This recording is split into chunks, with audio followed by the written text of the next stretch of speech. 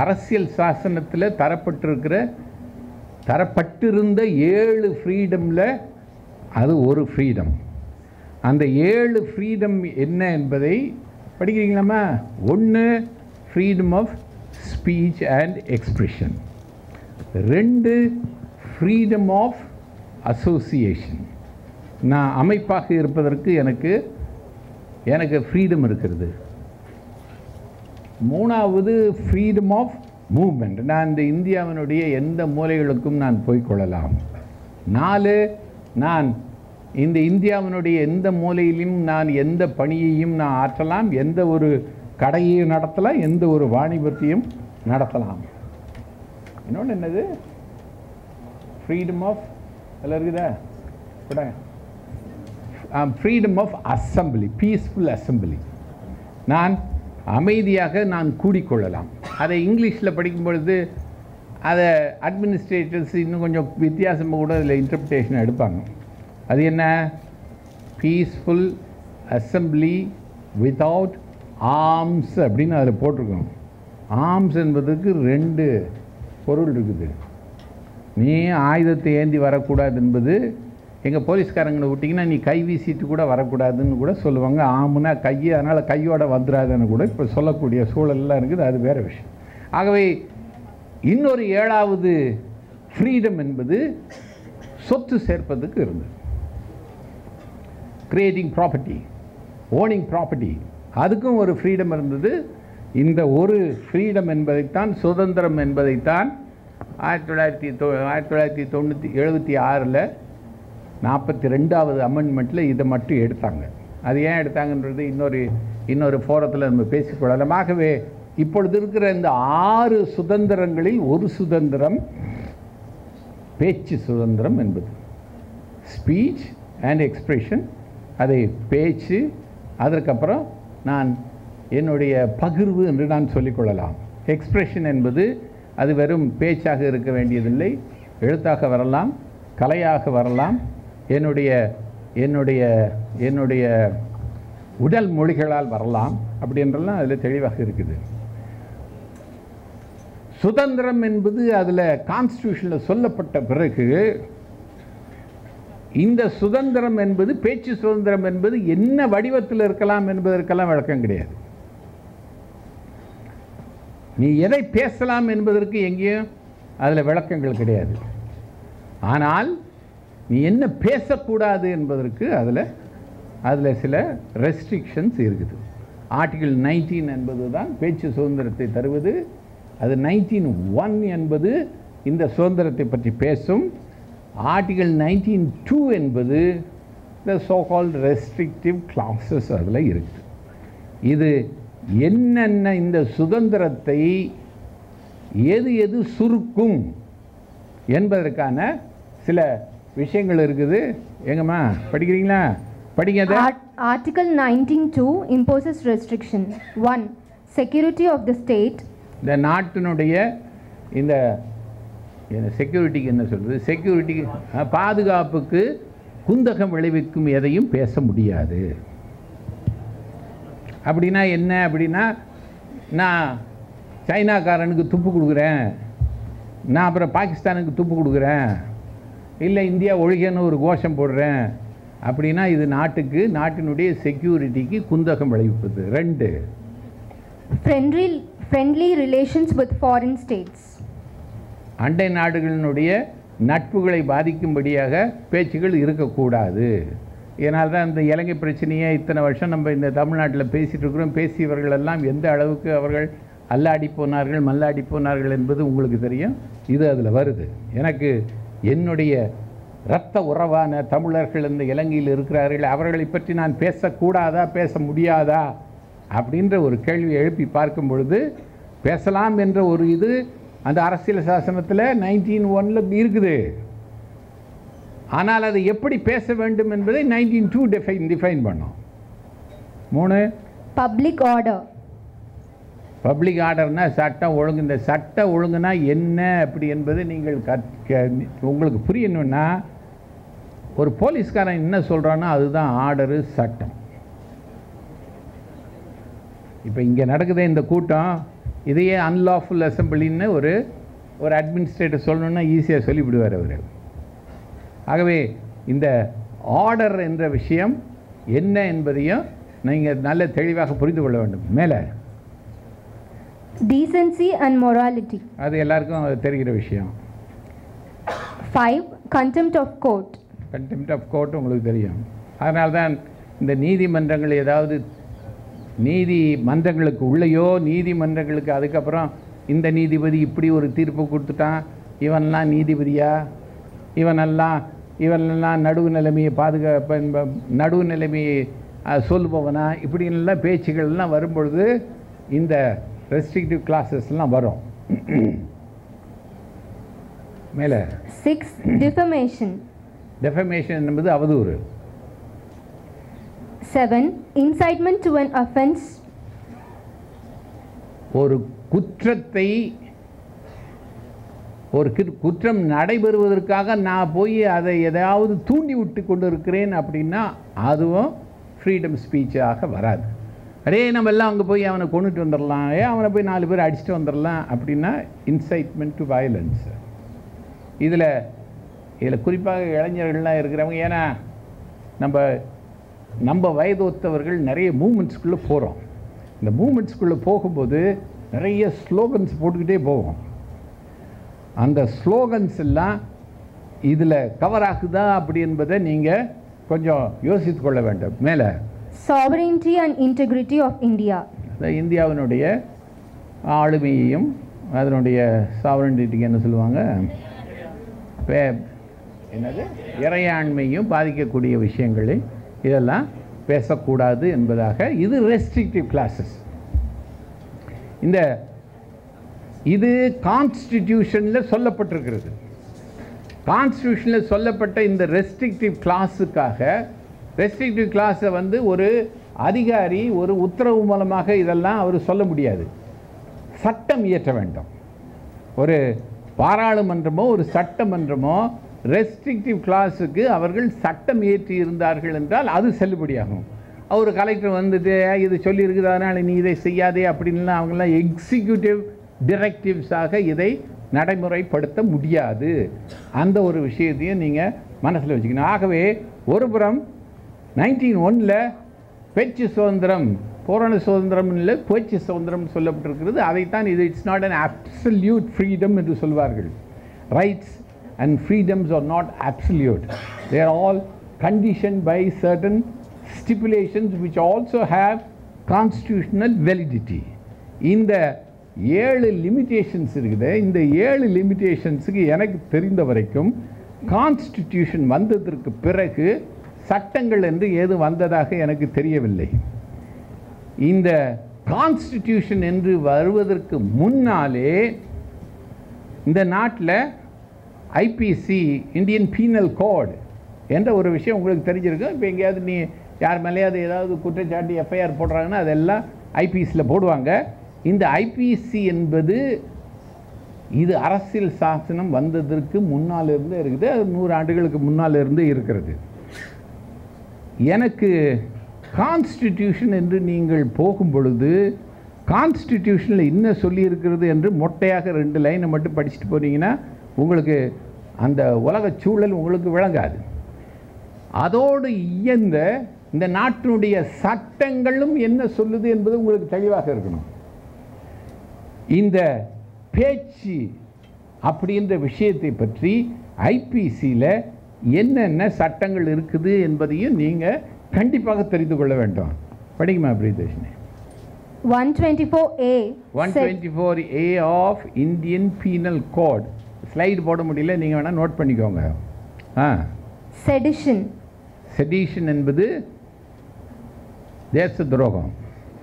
தயவு செய்து இளைஞர்கள் எல்லாம் இந்த செடிஷன் அப்படின்ற விஷயத்துக்குள்ளே நிறைய நீங்கள் நெட்டில் போட்டிங்கனாலே அது காமெண்ட்ரியோடு வரும். அதில் அந்த ப்ரிசிடென்சஸோடு வரும். அதில் நீதிமன்றங்கள்லாம் என்ன தீர்ப்பு சொல்லியிருக்கிறது அப்படின்ற விவரங்களோடு வரும்.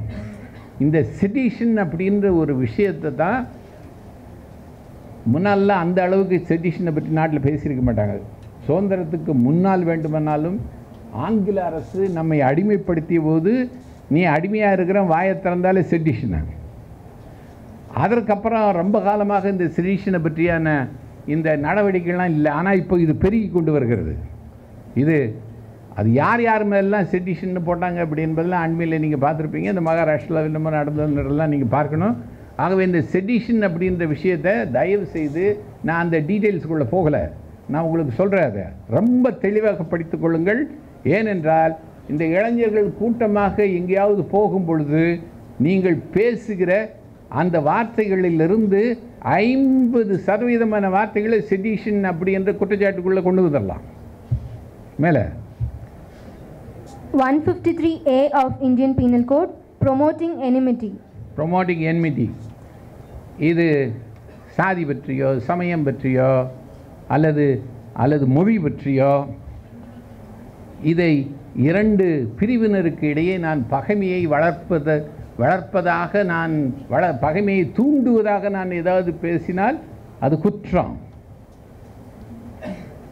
ஆந்திராக்காரன் இங்கே வந்து வியாபாரம் பண்ணானா அவன் காலை ஒடிப்பேன் அப்படின்னு சொன்னால் அது செடிஷனு அது அது அது இந்த குற்றம். எனக்கு அதை பற்றி பேசுகிறதுக்கு எனக்கு எனக்கு எனக்கு சுதந்திரம் இல்லையா அப்படின்னு நம்ம அந்த ஒற்றை வார்த்தையை மட்டும் பிடிச்சிக்கிட்டு நம்ம இதுக்குள்ளே போகக்கூடாது. இப்போ தமிழ்நாட்டில் நிறைய தமிழ் இயக்கங்கள் தமிழர் இயக்கங்கள். என்ன சொல்லுவாங்க தமிழ் தமிழ் தேசியங்கள்லாம் பேசப்படுது. இந்த தமிழ் தேசியங்களில் ஒலிக்கக்கூடிய அந்த அந்த மொழிகளில் நூற்றுக்கு தொண்ணூறு சதவீதம் இந்த விஷயங்களை வந்து மாட்டிக்கும். ஆகவே நீங்கள் அதை கேட்கும் பொழுதும் சரி அதை பற்றி பேசும் பொழுதும் சரி நீங்கள் அலர்ட்டாக இருந்துக்கணும். அடுத்தது நான் ஆந்திரா 294. பத்தி- நான் ஆந்திரா பற்றி பேசலாம் தமிழ்நாட்டை பற்றியும் பேசலாம். ஆனால் ஆந்திராக்காரன் இங்கே வந்து என்ன செய்யலாம் நான் அங்கே போய் என்ன செய்யலாம் என்று பேசலாம். அவன் இங்கே என்ன செய்யக்கூடாது நான் என்ன செய்யக்கூடாது என்று கூட பேசலாம். ஆனால் அவன் அங்கே வந்து பண்ணுனான்னா அவன் உயிரோட திரும்ப மாட்டான் அப்படின்ற வார்த்தைகள்லாம் வந்துடக்கூடாது. மேலே. Section 294 in the Indian Penal Code obs- obscene acts and songs. இது எல்லார் கையிலையும் ஃபோனில் வச்சுருக்கிறீங்க. இந்த ஃபோனில் அப்புறம் அதுக்கப்புறம் வாட்ஸ்அப் குரூப்பு அதுக்கப்புறம் உங்களுடைய அந்த அப்புறம் நெட்டு யூடியூப்பு மண்ணாங்கட்டிகள் எல்லாமே இதில் அவ்வளவு வந்து கொட்டிக்கிட்டு கிடக்குது.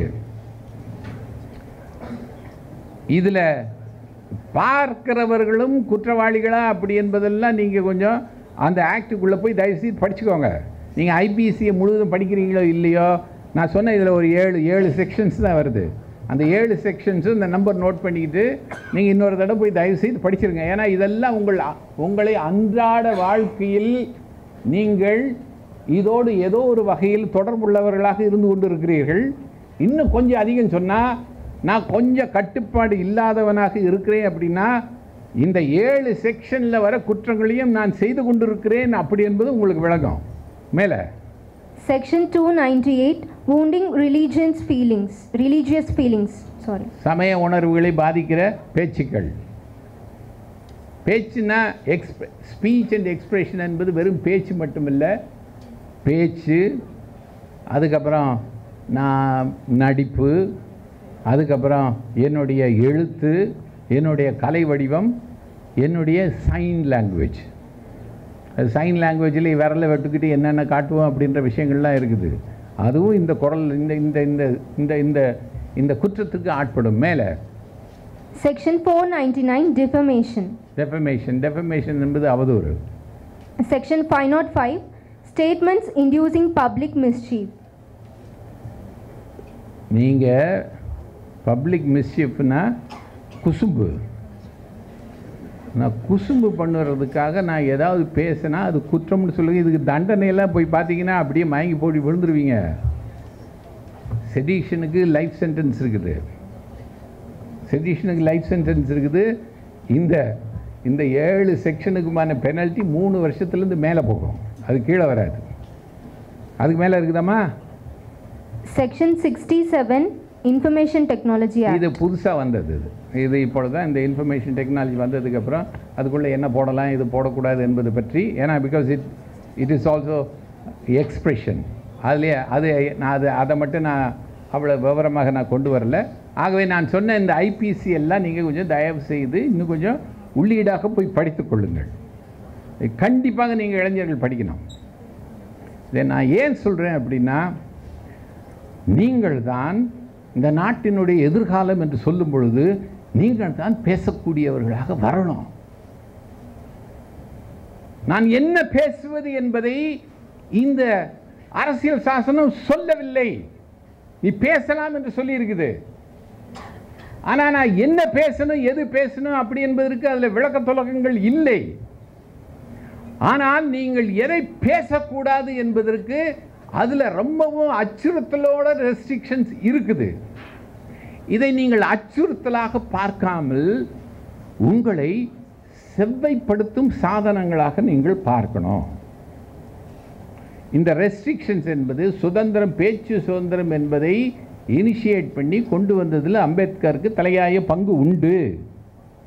அதே அம்பேத்கர் இந்த ரெஸ்ட்ரிக்ஷன்ஸையும் அவர் அவர் அவர் அவர் ப்ரப்போஸ் பண்ணி செகண்ட் பண்ணி கொண்டு வராரு. அந்த ரெஸ்ட்ரிக்ஷன்ஸ் எல்லாம் ஏன் தேவை என்பதற்கு அந்த காலத்தில் பல சூழல்கள் இருந்தன. இந்த காலத்தில் புது புது சூழல்கள் அது வேற வடிவெடுக்குது இது. ஆகவே இந்த ஃப்ரீடம் ஆஃப் ஸ்பீச்சை நான் எப்படி பயன்படுத்தி கொள்வது என்பதை பற்றி தான் இப்போ நீங்கள் அதிகமாக சிந்திக்கணும். இதை இந்த ஃப்ரீடம் ஆஃப் ஸ்பீச்னா என்னன்றதை கொஞ்சம் சுருக்கமாக நல்ல சிம்பிளாக புரிந்து கொள்ளணும் அப்படின்னா என்னைய முட்டாளுன்னு உங்களுக்கு தெரியலாம். நான் முட்டாளாகவே இருக்கலாம். ஆனால் நீங்கள் என்னை பார்த்து அடே முட்டாளு அப்படின்னு சொல்ல முடியுமா என்பது தான் பிரச்சனை. நீங்கள் நேரடியாகவும் என்கிட்ட சொல்ல முடியுமா? இல்லாட்டி மைக் போட்டு எங்கேயாவது பேச முடியுமா? அப்படி என்பது தான் இந்த இதனுடைய சுருக்கம். முட்டாளுன்னு தெரியும் முட்டாளு தான் ஆட்சி நடத்துபவர்கள் எத்தனையோ முட்டாள்களை நம்ம அன்றாடம் பார்த்து கொண்டு இருக்கிறோம் அவனை முட்டாளுன்னு நீங்கள் சொல்லிட்டீங்க அதோட ஃபினிஷ்டு அப்போ நான் என்ன தான் சாப் செய்யணும்? இதுதான் உங்கள் பிரச்சனை. இதைத்தான் ஒரு அந்த முட்டாளை எப்படி நீங்கள் நீங்கள் அடையாளப்படுத்துவது அவனை எப்படி நான் அவ அதை அதை அதை எடுத்து சொல்வது அப்படி என்பதற்கு நிறைய விஷயங்களை நீங்கள் கற்றுக்கணும் நிறைய விஷயங்களை நீங்கள் கற்றுக்கணும் இந்த ஃப்ரீடம் ஆஃப் ஸ்பீச்சில் நம்ம தடுக்கி விழக்கூடிய இடங்கள் அப்படின்றது மேஜராக ரெண்டு விஷயம் ரெண்டு இடங்கள். ஒன்று மதம் சம்பந்தப்பட்ட விஷயங்கள். ரெண்டாவது இந்த ஆளும் அரசுகள் அரசுகளை பற்றியது. இந்த செடிஷன் அப்படின்றது இருக்குது பாருங்க. இதை வந்து அந்த இந்த செடிஷன் என்பது என்ன அப்படின்னா என்ன என்ன சொல்றது? நாட்டு துரோகம். தேச துரோகம். தேச துரோகம்னா என்ன? ஒரே ஒரு விஷயந்தான் அதில் சொல்லியிருக்குது. ஆளும் அரசுகளுக்கு பரிவு தராத பாசம் இல்லாத வார்த்தைகளை நடத்தைகளை நீங்கள் செய்தால் அது sedition disaffection to governments lawfully established affection என்ன? பத்து பாசம் என் பிள்ளைகிட்ட எனக்கு அஃபெக்ஷன் இருக்குது என் எங்கள் எங்கள் அம்மா கிட்ட எனக்கு அஃபெக்ஷன் இருக்குதுன்னா அதுதான் அஃபெக்ஷனு பற்று பாசம். கவர்மெண்ட்ஸுக்கு பாசம் இல்லாத மொழியை பேசிவிட்டிங்கன்னா இது செடிஷனு இது டெஃபினிஷனு அவனை ஒழிப்பதற்கான வசனங்கள் அப்படின்னு இல்லை. ஆளும் அரசுகளை அதை கவிழ்ப்பதற்கு இல்லாட்டி அழித்தொழிப்பதற்கான வசனங்கள்லாம் அதில் சொல்லலை. டிஸ்அஃபெக்ஷன் ஒரே வார்த்தை. நீங்கள் முதலமைச்சர் அவர் சரியில்லை அவர் கொஞ்சம் அது ஏதோ கம்மி அவருக்கு மூக்கு கம்மி மொழி கம்மி அறிவு கம்மி சொல்லிவிட்டீங்கன்னா டிஸ்அஃபெக்ஷன் எனக்கு ஒருத்தும் இல்லை. என்னைய பார்த்து ஏன் முட்டா பையில அப்படின்னா எனக்கு அஃபெக்ஷன் இல்லை இல்லை செடிஷன் இதே தனி சொல்கிறீங்க அப்படின்னா அது டெஃபமேஷனாக வரும். டெஃபமேஷனுக்கு செடிஷனுக்கும் நிறைய வித்தியாசம் இருக்குது. டெஃபமேஷன்னா இப்போ நான் உங்கள் வாத்தியாரை இப்படி திட்டிவிட்டேன் அப்படின்னா இம்பியூட்டேஷன் டு டிஸானர் இன்சல்ட் அப்படின்னு அவர் அவர் நீல சட்டையை போட்டுக்கிட்டு வந்திருக்கிறாரு அப்படின்றதுனால நீ என்ன டினோபாலை போட்டு சட்டையை க கொண்டு வந்திருக்கிறீரு அப்படின்னா அவருக்கு ஒரு மாதிரி உறுத்தலாக இருக்குது அப்படின்னா என் மேலே அவர் அவதூறு வழக்கு போடலாம். ஏன் அவதூறு வழக்கு போடலாம். ஆனால் அவதூறு வழக்கு போடுவதற்கு அதில் கொஞ்சம் நிறைய சிக்கல் இருக்குது. அவர் வந்து ஏன் என்ன நீ அவதூறு படுத்தினதுனால நீ பெரிய ஐஏஎஸ் ஆஃபீஸரு அதனால் எனக்கு நீ ஒரு கோடி ரூபாய் டேமேஜ் கொடுக்கணும் அப்படின்னு போய் ஒரு சூட்டை போட்டுடலாம் அவர். ஆனால் ஒரு கோடி ரூபாய்க்கு அவர் சூட்டை போடணும்னா அதில் பத்தில் ஒரு பங்கு பணத்தை கோர்ட்டு கட்டணும். பத்து லட்ச ரூபாய் கட்டினா தான் ஒரு டிஃபமேஷன் சூட்டே உள்ளே போடலாம். அது ஒரு வசதி பண்ணி வச்சுருக்குறாங்க. அதனால தான் நிறைய டிஃபமேஷன் சூட் போடுறதில்ல. இப்போ உங்கள் இது இது இப்போ இங்கே வந்திருக்குல்ல பல கல்லூரி மாணவர்கள்லாம் வந்திருக்கிறீங்க. அது மாதிரி எங்கேயோ இந்த கல்லூரி அந்த கல்லூரியை பற்றி எதையோ சொல்லிவிட்டாங்கன்னு எனக்கு இந்த இடதுசாரி மேலே இடதுசாரிகளுக்கு வலதுசாரி மேலே எனக்கு கோபம் வந்துச்சு. நான் போய் டெஃபமேஷன் போட போகிறேன் அப்படின்னா போயில ஒரு பத்து ரூபாய்க்கு போட்டுக்கலாம் நீங்கள் பத்து ரூபா போட்டு ஒரு ரூபாய் கட்டிட்டு போகலாம். நூறுரூபாய்க்கு டேமேஜ் போட்டிங்கன்னா பத்து ரூபா கட்டணும். ஆயிரம் ரூபாய் அவங்ககிட்ட இருந்து வாங்கி கொடுங்கன்னா நூறுரூபா ஆகவே இதனால் டெஃபமேஷன் சூட்ஸ் என்பது தனியார்களுக்கு இடையில் அதிகமாக போகிறதில்ல அதனால தான் நம்ம சரளமாக ஒருத்தர் ஒருத்தர் எதையாவது பேசிட்டு அலைகிறோம் ஆனால் இந்த கவர்மெண்ட்ஸ் இருக்குது பாருங்கள் அவர்கள் இதை இப்போ எடுத்துக்கிட்டாங்க. இது இந்த தமிழ்நாட்டை பொறுத்த அளவில் டெஃபமேஷன்ஸ் என்பதை கொஞ்சம் அதிகமாக அறிமுகப்படுத்தி கொண்டு வந்தது என்பது ஆயிரத்தி தொள்ளாயிரத்தி தொண்ணூறுலேருந்து இந்த ஜெயலலிதா அம்மா ஆட்சிக்கு வந்ததுலேருந்து நடக்குது. அது எதாவது தடிக்கு விழுந்தால் உடனே டெஃபமேஷன் சூட்டுன்னு போட்டுருவாங்க. அதில் என்ன வசதி அப்படின்னா நான் நான் அரசு ஊழியனாக இருக்கிறேன் அல்லது இந்த அரசு அதிகாரத்தில் இருக்கிறேன் அப்படின்னா நான் இந்த பத்து சதவீதம்லாம் கட்ட வேண்டியதில்லை. அப்புறம் ஊர்பட்ட வழக்கறிஞர்கள்லாம் கவர்மெண்ட் அட்வொகேட்ஸ் எல்லாம் எனக்கு இருக்கிறேன் அதனால நான் வக்கீல்களுக்கு செலவு பண்ண வேண்டியதில்லை. ஏன் இந்த அவன் மேலே ஒரு கேஸ் தூக்கி போடு அப்படின்னா அதோடு முடிஞ்சு போச்சு. மா அவன் தான் செலவு பண்ணுமே ஒழிய நான் செலவு பண்ண வேண்டியதில்லை. ஆகவே இந்த டெஃபமேஷன் என்பதும் இந்த செடிஷன் என்பதும் இது அரசுகளோட ரொம்ப சம்பந்தப்பட்ட விஷயங்கள். இதுக்கு அடுத்தது இந்த ரெஸ்ட்ரிக்டிவ் கிளாஸில் அதிகமாக எங்கே வருது அப்படின்னா மதம் சம்பந்தப்பட்டது. நீங்கள் மதம் சம்பந்தப்பட்டதில் நீங்கள் மூச்சு விட்டீங்க அப்படின்னாலே ஒருத்தன் போய் என்னுடைய மத உணர்வெல்லாம் பாதிக்கிற மாதிரி சொல்லிவிட்டான். அவன் போய் ஒரு முருக கடவுளை ஒருத்தன் ஏ முருகு முருகுன்னு சொல்லிட்டான்னா என் மனசு பாதிச்சிருச்சுன்னு கூட ஒருத்தன் சொல்லலாம். அதுக்கப்புறம் முருகா முருகா அப்படின்னா இவன் வந்து தமிழ் முருகான்னு சொல்லலை. முருகனை பார்த்து இந்தியில் முருகான்னா கோழி கோழிக்கறி அதனால் கோழிக்கறி கோழிக்கறின்னு சொல்லிவிட்டான் அப்படின்றது கூட நான் வந்து என்னுடைய மத உணர்வுகளாக பாதிக்கப்பட்டுக்கிற விஷயமாக கொண்டு போய் நான் ஏதாவது கேஸ் போடலாம். அதுகளுக்கெல்லாம் தண்டனையெல்லாம் பார்த்திங்கன்னா ரொம்ப அதிகமாக இருக்கும். ஆனாலும் இந்த இந்த இந்திய நாட்டில் இப்பொழுது இருக்கிற சூழ்நிலையில் இந்த மதங்களை பற்றியும் சரி இந்த ஆளும் ஆளும் அரசுகளுடைய நடப்புகளை பற்றியும் சரி இது பேசாமல் போனால் இந்த நாடு எங்கேயோ குடிச்சவராக போயிடும் கண்டிப்பாக போகும். அந்த அளவுக்கு சில வெறித்தனமான மத விஷயங்கள்லாம் வருது. இன்னொரு பக்கம் முட்டாத்தனமான அரசு நடவடிக்கைகள்லாம் வருது. ஏன் எனக்கு இன்னைக்கு வெங்காயம் வாங்க முடியாது என்னால். நடக்குது. நான் அதுக்கப்புறம் நீ இது வெங்காயம் இந்த வெங்காயம் விலையை உங்களால் கட்டுப்படுத்த முடியலையா இல்லையா? அப்படி என்பதுக்கு நான் வெங்காயம் சாப்பிட்றவ இல்லை அப்படின்னு பதில் வந்தது அப்படின்னா நான் இது இதெல்லாம் கேட்க வேண்டியிருக்குது. ஆனால் இதை கேட்கும்போது அப்படியே கேட்கலாம்.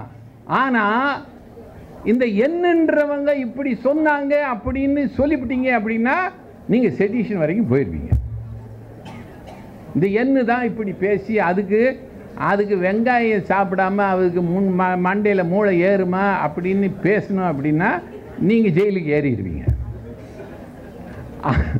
ஆகவே தான் இந்த ஃப்ரீடம் ஆஃப் ஸ்பீச் என்பதை நான் எப்படி கையாள வேண்டும் அப்படி என்பதில் நீங்கள் உங்களுடைய திறமையை வளர்த்துக்கணும்.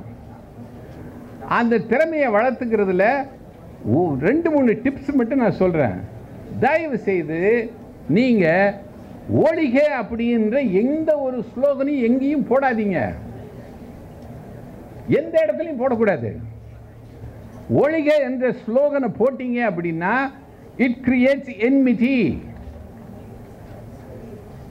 ஏன் அது த- என்னது? ஹிந்தி ஒழிக அப்படின்னு நீங்கள் கோஷம் போட்டீங்க அப்படின்னா நீங்கள் ஹிந்திக்காரனுக்கும் மற்றவனுக்கும் இடையில நீங்கள் வந்து என்மிட்டியை உருவாக்குறீங்க.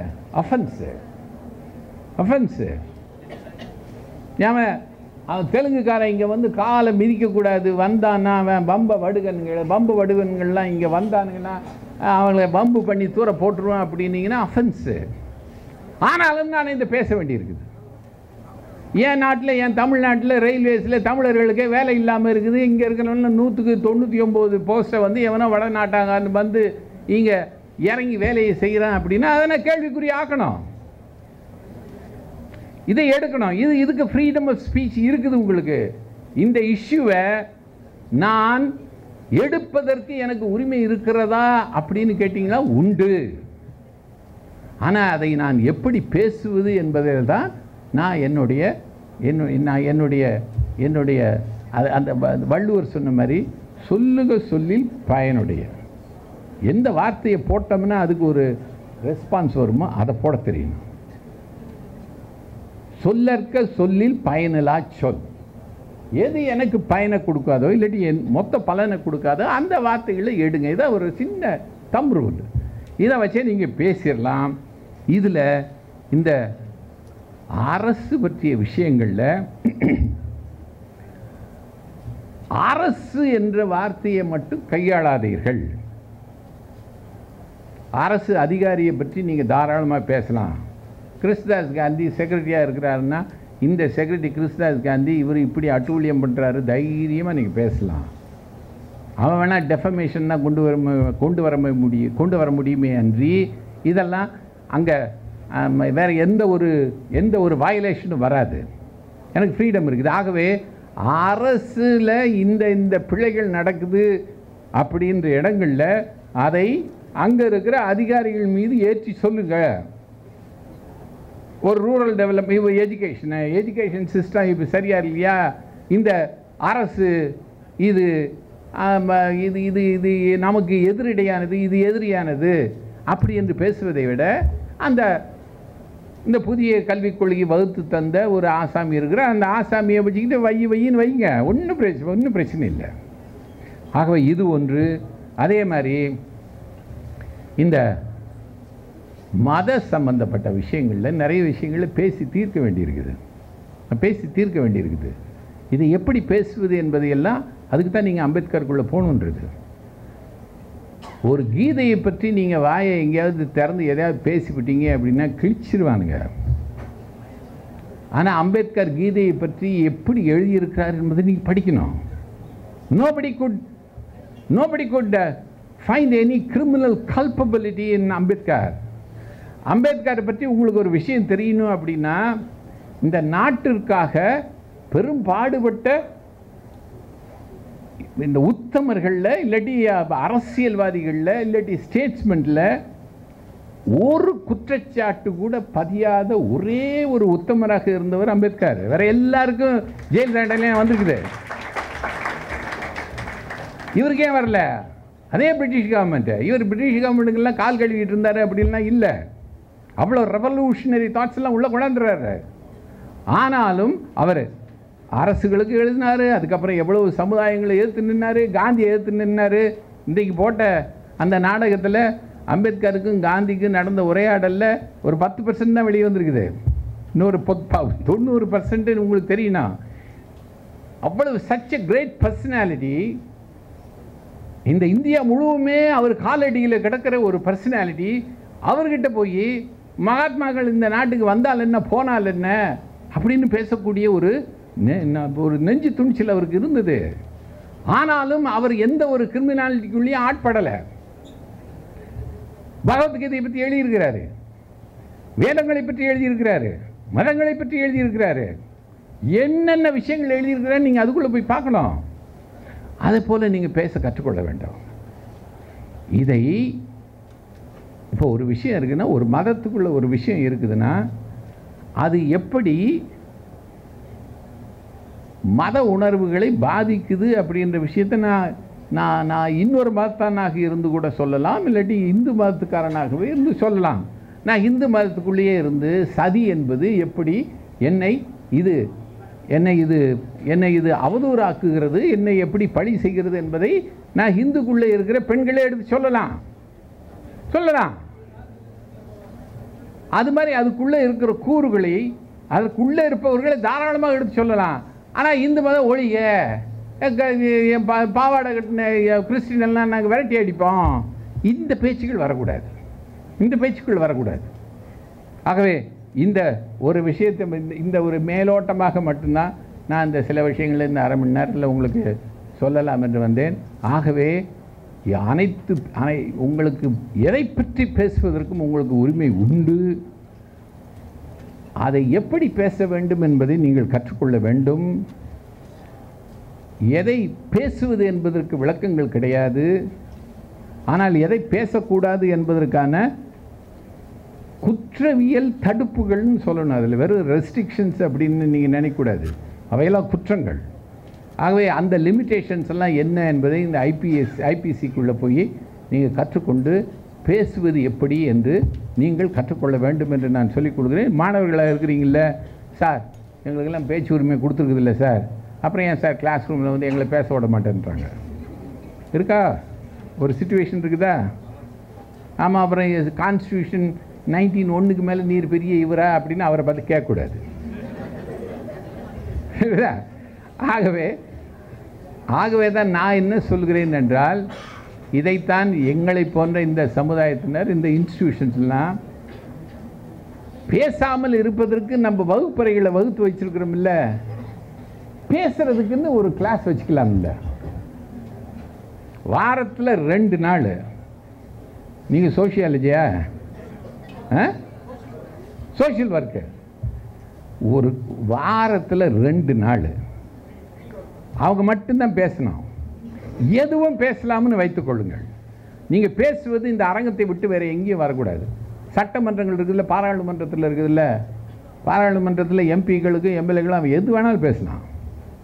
ஆனால் அவன் பேசுவதெல்லாம் அந்த அரங்கத்திற்குள்ளேயே அது வகுக்கப்பட்டு விடும் அது பேசக்கூடாத சில விஷயங்கள் அங்கே ஏதாவது பேசுனாங்கன்னா அது இது ரொம்ப மிஞ்சி மிஞ்சி போனால் அந்த ஸ்பீக்கர் வந்து he will வார்ட்ஸ் his அவ்வளோதான் அதுக்கு மேலே கிடையாது. அதே மாதிரி நீங்களும் இங்கே பேசுவதற்கு இவளை பழக்குவதற்காக நீங்கள் வகுப்பறைகள் நடத்தணும். அதில் கொஞ்சம் எசக்கு பெசக்காக இதை நம்ம தம்பி தங்கச்சி ஏதாவது பேசிவிட்டா இதோடு சரி நீ இந்த லெவலில் பக்கமே வரக்கூடாது அப்படின்லாம் விரட்டி அடிக்கக்கூடாது. இன்டர்னல் மார்க்கு இன்டர்னல் மார்க்கில் கையை வச்சிருவேன் இப்படிலாம் பயமுறுத்தக்கூடாது.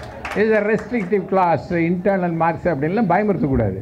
ஒரு ஃப்ரீயாக ஒரு விட்டிங்கன்னா அது then they will get train அங்கே அவர்களுக்கு அப்பப்போ நீங்கள் இது சுட்டிக்கண்டே இது பேசுறது என்பது இட் இஸ் அஃபென்சிவ் அல்லது this is against the mandate of the same constitution அப்படின்ற விஷயங்களை இவர்களுக்கு சொன்னோம் என்றால் restriction because uh, it would uh, like curb any uh, criticism against the government and that's exactly why they made it as a reasonable restriction and not as a and and also it's a criminal offense but it's not a law in the constitution so uh, that is exactly what is happening now right you uh, you criticize anything about the government you are labeled as an anti-nationalist and it- you are and it's called sedition so do you think we'll be able to exercise our democracy more if this particular law is scraped இது கண்டிப்பாக பண்ண வேண்டிய விஷயம் அதுக்காக தான் நான் சொன்னேன் உங்களுக்கு கான்ஸ்டிடியூஷனுக்கு முந்தியவை தான் இந்த ஐபிசி அப்படின்னு சொன்னேன் IPC sections have preceded the constitution after the constitution has come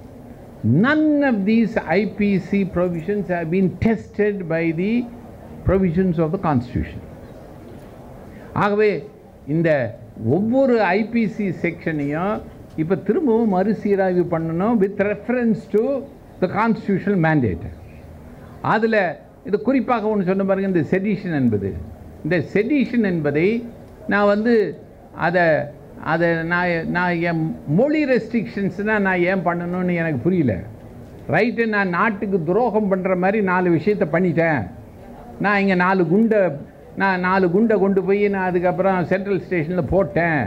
நான் அதுக்கப்புறம் இங்கே நாலு பேர் சேர்ந்துக்கிட்டு பாகிஸ்தானிக்கு உளவாளியாக இருந்தேன். நான் அதுக்கப்புறம் நான் ராக்கெட் விட்டு நான் இது எல்லாத்தையும் வேவு பார்த்தேன். அப்படின்ற ஆக்ட்ஸை வேணால் செடிஷனில் கொண்டு வரலாமே அன்றி என்னுடைய என்னுடைய ஸ்பீச்சு என்னுடைய என்னுடைய எக்ஸ்ப்ரெஷன்ஸு செடிஷனோட ரிலேட் பண்ண தேவையே இல்லை. தேவையே இல்லை.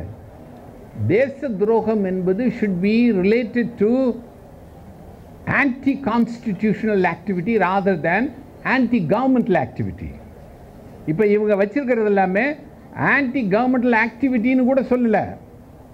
டிஸ்அஃபெக்ஷன் ஆஃப் த கவர்மெண்ட்டுன்னு தான் எனக்கு இந்த அம்மா முகம் பிடிக்கல அப்படின்னா she is creating disaffection in me இது தேச துரோகி அப்படின்னு க்ளீனாக சொல்லிவிடலாம்.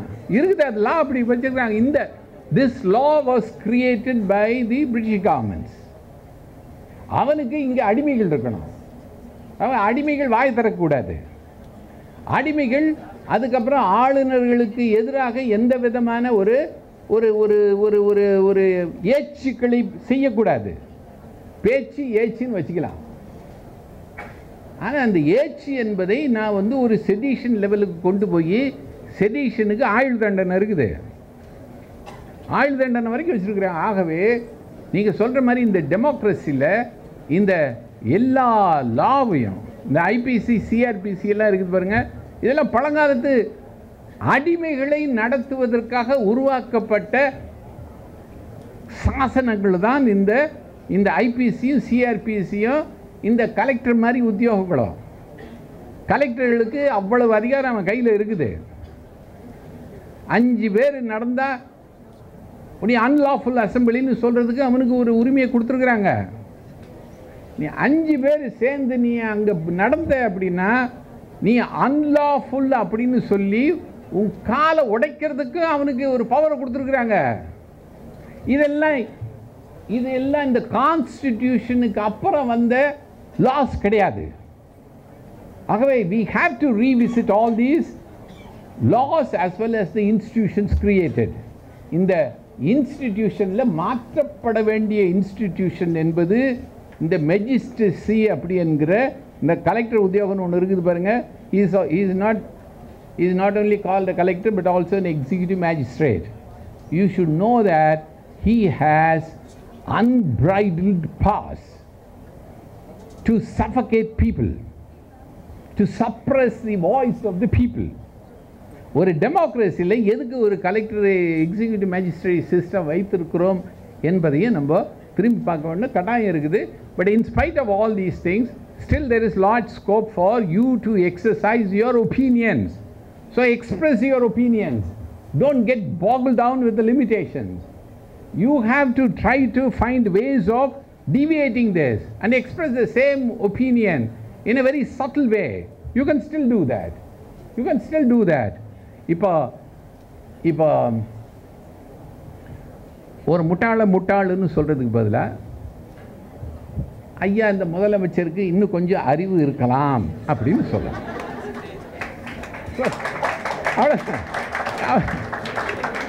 இது இதை ஒருத்தனை ஒன்றும் குற்றம் சாட்டக்கூடாது. அவருக்கு இன்னும் கொஞ்சம் அறிவு இருந்திருந்தால் இந்த நாடு இன்னும் கொஞ்சம் வளர்ச்சியை நோக்கி போகும். என்ற மாதிரி நம்ம சொல்ல நேரடியாக போய் அது இவனு ப படிக்காத பைய இவனுக்கு என்ன மண்டையில் மூளை இருக்குது? மசாலா இருக்குதா? இந்த மாதிரி வார்த்தைகளை நீங்கள் உங்களுக்கு இடையில வேணால் பேசிக்கிட்டு போகலாம் மொழிய நீங்கள் நான் என் ஃப்ரெண்டுக்கிட்ட பேசுகிற அதே மொழியை போய் நான் அதுக்கப்புறம் அத்தாரிக்கிட்ட பேசுனேன் அப்படின்னா பிச்சு விடுவானுங்க பிச்சு. சரிதானம்மா? ரைட் வேறு எனிதிங் எல்ஸ் ரைட் இதில் நீங்கள் எப்படி பேசுவது என்பதுக்கு கண்டிப்பாக ட்ரைனிங் வேணும். கண்டிப்பாக ட்ரைனிங் வேணும். இதில் நான் சொல்கிற பாருங்க இந்த அஃபென்சஸ்ஸு இந்த அஃபென்சஸை உங்களுக்கு கற்றுக் கொடுக்கறதுக்கு யாரும் உங்களுக்கு கற்றுக் கொடுக்கல. நீங்களாக தான் கற்றுக்குறீங்க உங்கள் பியர் குரூப் கான்வர்சேஷன்லேயே நீங்கள் இதை கற்றுக்குறீங்க இந்த அவர் எவராவது ஒருத்தர் அப்படி புது மாடலில் ஒரு ஒரு ஒரு முடியை கொஞ்சம் இப்படியே வெட்டிக்கிட்டு வந்தாருன்னா அவருக்கு என்னென்ன பதங்கள்லாம் போடுறோம் அப்படின்றது தெரியுது. என்னால் தான் கற்றுக்கிறேன் யாரும் கற்றுக் கொடுக்குறாங்க இதை உங்களுக்கு? நீ நான் என்னுடைய நண்பன்கிட்ட நான் ரொம்ப பாசத்தோடு நான் பழகி சொல்கிற ஒரு வார்த்தையை அது ரொம்ப பாசமாக நான் என் நண்பனை கூப்பிடணும் அப்படின்னா அதை விட அசிங்கமான கெட்ட வார்த்தை இராது. சரிதானா ஆனால் பாசத்தோடு சொல்கிற வார்த்தையில் நான் சிஎம்இ அதே வார்த்தையில் போட்டு பேசுவேன் அப்படின்னா அதுக்கு பேர் தான் டிஸ்அஃபெக்ஷன் சார் சார். கேள்வி. இப்போ நார்மலாக ஜனங்கள் வந்து என்ன மாதிரி வந்து இந்த ஃப்ரீடம் ஆஃப் ஸ்பீச் எக்ஸ்பிரஷன் இது பண்ணு சொன்னீங்க. அரசு அதிகார அதிகாரிகள் ஆகணும் அப்படின்னு ஒரு ஆம்பிஷன் இருக்கும்ல. நம்ம உள்ளே போயிட்டோம் அப்படின்னா அவங்க கவர்மெண்ட் போடுற எல்லாத்துக்கும் நம்மளால ஆமாஞ்சாமி போட முடியாது. ஸோ அந்த நேரத்தில் அரசு அதிகாரிகளாக கவர்மெண்ட் அஃபீஷியல்ஸாக இருக்கிறவங்க எந்த மாதிரி இதை வந்து எக்ஸ்பிரஸ் பண்ணணும்? எங்களோட ஐ மீன் நாங்கள் வந்து கவர்மெண்ட்டோட முடிவுக்கு நாங்கள் அப்போஸ் ஆகிறோம். இல்லை எங்களால் இதை வந்து ஏற்றுக்க முடியாது அப்படிங்கிறது. முடிவுகளை நான் ஏற்பது தவிர்ப்பது என்பதை யாரும் ரெஸ்ட்ரிக்ட் பண்ண முடியாது. நான் ஜென்ரலாக எழுத முடிய மாட்டேங்குது இப்போ கவர்மெண்ட் இப்போ அஃபீஷியல்ஸ் கல்வி புதிய கல்விக் கொள்கை வந்திருக்குது இல்லை? அதை பற்றி நான் எவ்வளவு பேசிக்கொள்ளலாம்? ஆனால் இதை பேசும் பொழுது இந்த புதிய கல்விக் கொள்கையை இங்கே கொண்டு வந்த மாதிரி இந்த இந்த இந்த சீஃப் மினிஸ்டர் இந்த மோவன்னாக்காரர் மாதிரியான முட்டாள் இல்லைன்னு சொல்லக்கூடாது. Government officials? இதே இதே மாதிரி பேசலாமா? கவர்மெண்ட் அஃபீஷியல்ஸ் இதே மாதிரி பேசலாமா? கவர்மெண்ட் அஃபீஷியல்ஸ் கிட்டயா? இப்போ ஐஏஎஸ் ஆஃபீஸர்ஸோ ஐபிஎஸ் இருக்கிறவங்களோ வந்து இந்த மாதிரி பேசலாமான்னு கேட்குறேன் சார். அங்கே தான் ஒரு வித்தியாசத்தை உங்களுக்கு சொன்னேன். அது ஒரு prime minister chief ministers ministers இவர்கள் எல்லாம் இவர்கள் எல்லாம் கவர்மெண்ட்ஸினுடைய அங்கமாக பார்க்கப்படுபவர்கள். அவர்களுக்கெல்லாம் நேராக இவங்க de- இந்த செடிஷனை கொண்டு வந்துடுவாங்க டெஃபமேஷனையும் கொண்டு வருவாங்க. டெஃபமேஷன் அவங்க கொண்டு கொண்டு வர்றதுக்கு அவங்களுக்கு ஒரு சங்கடங்கள் இல்லை. ஏன்னா நான் சொன்ன மாதிரி டெஃப் டெஃபமேஷன் சூட்டுக்கு அவங்க பணமெல்லாம் கட்ட வேண்டியதில்லை கவர்மெண்ட் கட்டும். ஆனால் நீங்கள் தனி ஆஃபீஸர்ஸை பற்றி பேசுனீங்கன்னு வைங்க. அதுவும் டெஃபமேஷனில் வரலாம். ஆனால் அவர் எடுக்கணும் அந்த கேஸை இந்த புள்ள பூச்சி ஏதோ சொல்லிட்டு போச்சு. இதை விட்டுக்கிட்டு நான் என்னத்துக்கு டெஃபமேஷன் போகிறேன்னு நிறைய பேர் போக மாட்டாங்க. ஆனாலும் அதை நீங்கள் பேசுகிறத நீங்கள் சட்டில் பேசுங்கன்ற. You can criticise you can analyse you can you you can bring about an evaluation of schemes of or whatever deeds of the government but you can't be making adverse remarks அல்லது இதில் அந்த சட்டத்திற்குள்ளே வருக அது அதுக்கு தான் நான் இன்னும் கொஞ்சம் அந்த அந்த ஐபிசியினுடைய இந்த இந்த இந்த என்னன்னு சொல்கிறது அதனுடைய அதனுடைய காமன் காமெண்ட்ரியெல்லாம் இன்னும் கொஞ்சம் படிங்க. எது அப்யூசிவ் எது இது- எந்த வார்த்தைகள் என்ன சொன்னால் இது வந்து இது குற்றமாகும் அப்படின்ற விஷயங்கள்லாம் இருக்குது. So whenever you have to make some adverse kind of a remark be careful about the words that you use it should not be an offensive word it should not be an offensive word அதுக்கப்புறம் sedition விஷயத்துக்குள்ளே போனீங்கன்னா it not not create disaffection. இந்த ரெண்டு விஷயத்தை நீங்கள் யோசிச்சு பார்த்தீங்கன்னா இது வந்துடும் ரைட் தேங்க்யூ oh, எம்பிபிஎஸ் போகிறதுக்கு பன்னிரெண்டு பாஸ் பண்ணால் போதுமா?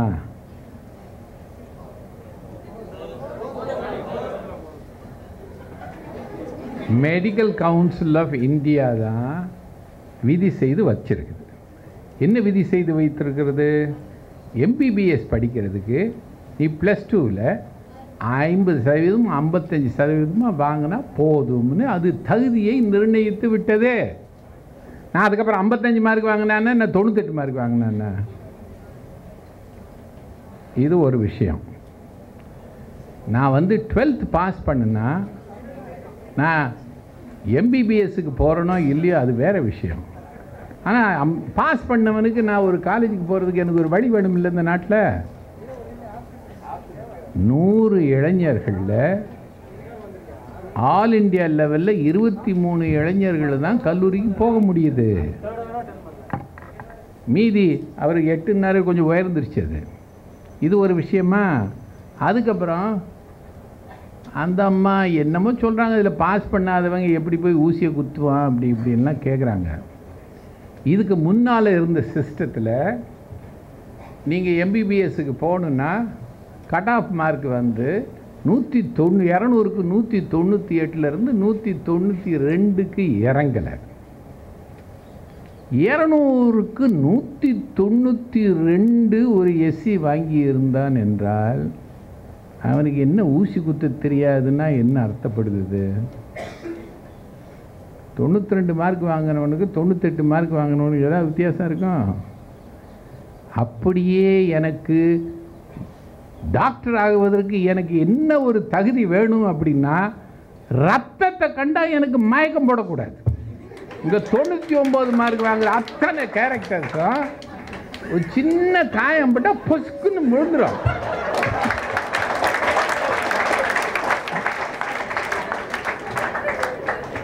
பொசுக்குன்னு விழுந்துடா அப்புறம் இந்த ஆர்மி இருக்குதுல்ல இந்த ஆர்மியில் வந்து இப்போ அவன் அவன் வந்து எடுக்கிறான். அவன் சோல்ஜருக்கு எடுக்கும்போது என்ன எடுக்கிறான் எப்படி எடுக்கிறான்னு தெரியுமில்ல? வீட்டுக்கிட்ட லயோவில் இருக்கிறதுலே பெரிய கிரவுண்டை எடுத்து ஓடுங்களா அப்படின்னு மந்த மந்தையை விரட்டி விட்டு ஏமா ஃபஸ்ட்டு வரானோ? அப்படி எடுத்துருவான். ஏன் எனக்கு ஒரு சோல்ஜருக்கு சோல்ஜருக்கு என்ன வேணும்? தகுதி? பயலுக்கு அவன் வந்த ரத்தத்தை கண்டு அவனுக்கு ஒன்றும் ரத்த வெறி இருக்கணும் அவனுக்கு. பயமன் இருக்கக்கூடாது. அவனுக்கு ரொம்ப உடல் திறன் வேணும். அவன் சோல்ஜராக இருக்கிறவனுக்கு மட்டும் உடல் திறமை வேணுமாம்மா? ஆனால் அவனுக்கு மேலே இருக்கிற அந்த அந்த கமிஷன் ஸ்டாஃப்ன்றாங்கல்ல அவன் கேப்டன்னு இந்த மாதிரி விஷயங்களுக்கு. அதுக்கு போய் இது மாதிரி ஏர் கண்டிஷன் ரூமில் மட்டும் எக்ஸாம் எழுதிட்டு வரணுமாம்மா? அங்கே? போர் முனையிலிருந்து கத்தி கப்படா துப்பாக்கி பாய்ச்சி வச்சு சுடுறவனுக்கு எவ்வளோ தைரியம் இருக்குதோ அதை விட அவனை லீட் பண்ணுறவனுக்கு வேணுமில்ல. அப்புறம் லீட் பண்ணுறவனுக்கு அவன் பென்சிலும் பேனாவும் வச்சுருக்கிறவன் எப்படி வரும்? அதைத்தான் தகுதியும் வச்சுருக்கிறாங்க. இந்த நீட்டு விஷயம் இருக்குது. இது மாதிரி ஒரு அநியாயமான ஒரு விஷயத்தை உலகத்திலே நீங்கள் பார்க்க முடியாது. நீங்கள் நீட்டில் வந்து அதிக மார்க் வாங்கிட்டு வரவங்களுக்கு தான் இப்போ அட்மிஷன் வருது அப்படின்னு நீங்கள் நம்பாதீங்க. நீட்டில் நான் வந்து தகுதியோடைய மார்க்கோடு நான் போய் நின்னாலும் எனக்கு செலெக்ஷன் கிடைக்கலாம். எனக்கு அட்மிஷன் என்பது அங்கே நான் பதினாலு லட்சம் ரூபாயை வச்சாதான் எனக்கு அட்மிஷன் ஆகும். நீங்கள் இந்த இப்போ நீட்டு முடிச்சுட்டு மார்க்கெல்லாம் எடுத்துகிட்டு கவுன்சிலிங்னு ஒன்று நடக்குதுல்ல? இந்த கவுன்சிலிங்கில் செலக்ட் ஆகிறவங்களில் முப்பது நாற்பது பர்சன்ட் போய் அட்மிஷன் ஆகிறது இல்லை ஏன்? அது துட்டு பற்றிய விஷயம். ஆகவே நான் செலக்ட் ஆனவன் நான் நான் ஒரு ஒரு ஒரு ஒரு கடம் நான் இரநூறு மார்க் வாங்கிட்டு நான் போய் அட்மிஷன் வாங்குகிறேன் அப்படின்னா நான் சேர முடியாமல் அப்புறம் இரநூறு மார்க்குக்கு கீழே இருக்கிறவங்க தான் போய் வாங்குறாங்க? அதனால் இந்த மார்க்கு ஒரு அகாடமிக் எக்ஸாம் மேலே வேறு எந்த ஒரு செலெக்ஷன் தேர்வும் இருக்கக்கூடாது. எந்த ஒரு ப்ரொஃபஷனுக்கு இது தேவையே கிடையாது. பிஇக்கு என்னத்துக்கு கவுன்சிலிங்கு செலெக்ஷன் வச்சுட்டு இருக்காங்கன்னு தெரில மூணு லட்சம் சீட் இருக்குது ஒன்றரை லட்சம் பேர் அப்ளிகன்ஸு மூணு மூணு லட்சம் சீட் இருக்குது. ஒன்றரை லட்சம் பேர் தான் அப்ளிகண்ட்டு இதில் வந்து செலெக்ஷன் எதுக்கு இந்த செலெக்ஷனு இது இந்த மெடிக்கல் விஷயம் மட்டும் ரொம்ப மொத்தமே நாட்டில் ஒரு ஐம்பதாயிரம் சீட் தான் இருக்குது. அதுக்கடுத்து ஐம்பதாயிரம் சீட் அஞ்சு லட்சம் சீட் ஆகிட்டு போங்களே இதில் என்ன இருக்குது? ஆக நான் அஞ்சு லட்சம் சீட் ஆகினேன் அப்படின்னா ஆட்டோமேட்டிக்காக அட்மிஷன் ஆகிட்டு போகுது. அதுக்கப்புறம் எனக்கு ஏதாவது ஒரு தேர்வு வைக்கணும். இது இது காம்படிஷன் இது இது எக்ஸாம் இன்டெலிஜென்ஸ் டெஸ்ட் இல்லை. அது ஏற்கனவே அவன் குழந்தைத்தான்ல ப்ளஸ் டூவில் பழைய சிஸ்டத்தில் இரநூறுக்கு நூற்றி தொண்ணூற்றி எட்டுலேருந்து நூற்றி தொண்ணூற்றி ரெண்டு மார்க் வாங்குறவங்களுக்கு தான் எம்பிபிஎஸ் ஆனால் இப்போ அதுக்கு கீழே இருக்கிறவங்களாம் போய் எடுத்துக்கிறாங்க. இல்லை சீட்டு கம்மி. அதனால நான் ஒரு காம்படிஷன் வைக்கணும்னா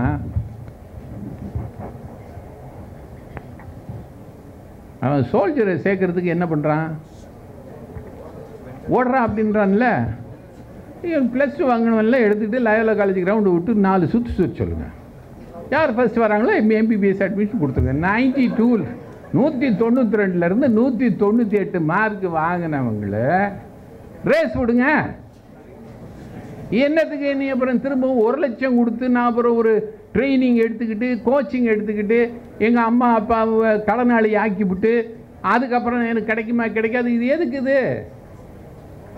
குவாலிஃபிகேஷன் நிர்ணயிச்சிட்டான் எம்சிஐயில் சரி அதை விட நான் ஒரு குவாலிஃபிகேஷன் அதிகமாக நிர்ணயிக்கணுமா? ஐம்பத்தஞ்சு மார்க்குக்கு மேலே எனக்கு நூற்றி தொண்ணூறு மார்க் வேணுமா? எடுத்துக்கோ. நூற்றி தொண்ணூறுலேருந்து நம்ம இரநூறு மார்க் வரைக்கும் வாங்குறவங்கள தமிழ்நாட்டில் ஒரு ஒரு லட்சம் பேர் இருக்கிறான். அந்த ஒரு லட்சம் பேரில் மேத்ஸு சயின்ஸ் எடுத்தவன் ஒரு லட்சம் பேர் இருக்கிறான். ஓட விடுங்க. ஓட விடுங்க. இல்லை பாட விடுங்க. ஏன் அது ஸ்கில் இல்லையா? யார் நல்லா பாடுறாங்க? இந்த இப்போ இப்போ இந்த எலக் இபியில் கேங்மேன் செலெக்ஷனுக்கு என்ன பண்ணாங்கன்னு நீங்கள் பார்த்துருக்குறீங்களா? எப்படி செலக்ட் பண்ணாங்க? கம்பம் ஏற தெரியுதா ஏற விட்டானுங்க. ஒரு பொண்ணு அற்புதமாக ஏறிப்பிச்சு ரெண்டு குழந்தைய பெற்ற ஒரு அம்மா மழை மழை மழை மழைன்னு ஏறுது. அதே மாதிரி நீங்கள் எந்த select why why ஒன்லியே the kind of a road test have a physical test physical test ஓடிட்டு வரட்டுமா? என்ன இதில்? இதுதான் விஷயம். அதனால் இந்த கேள்வியை நான் எல்லாம் இந்த யங்ஸ்டர் இருக்கிற இடங்கள்லாம் கேட்குறேன் நான். என்னங்க நீட்டு வச்சு நீட் இல்லைன்னா வந்து அப்புறம் படிப்பானா? இது என்ன தகுதி? தகுதி குறைவு? அப்படின்னு எதுக்கு இந்த கேள்வி வருதுன்னு இன்னும் புரிந்து கொள்ள முடியல. நீங்கள் அந்த விஷய சிஸ்டத்தையே புரியாமல் கேட்குறீங்களா இல்லை இந்த மக்களை குழப்பணும்னு கேட்குறீங்களா அப்படின்றது திரும்ப திரும்ப வரமாட்டேங்குது. Right thank you